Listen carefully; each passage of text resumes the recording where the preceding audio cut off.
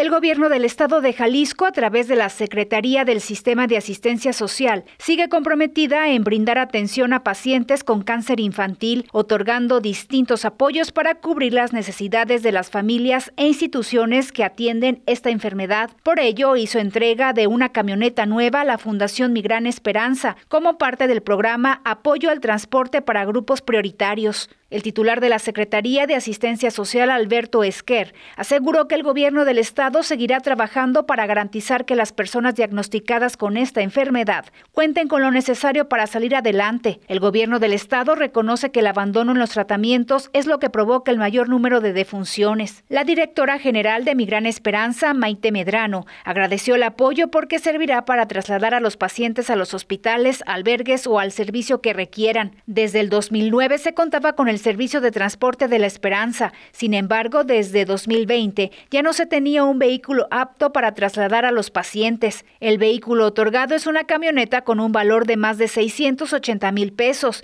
y tiene una capacidad para 15 pasajeros. Mi Gran Esperanza otorga servicios como medicamentos oncológicos, radioterapias, estudios y equipo médico, prótesis e implantes. Con información de Daniela Gutiérrez, Mayra Carrillo, Jalisco TV Noticias.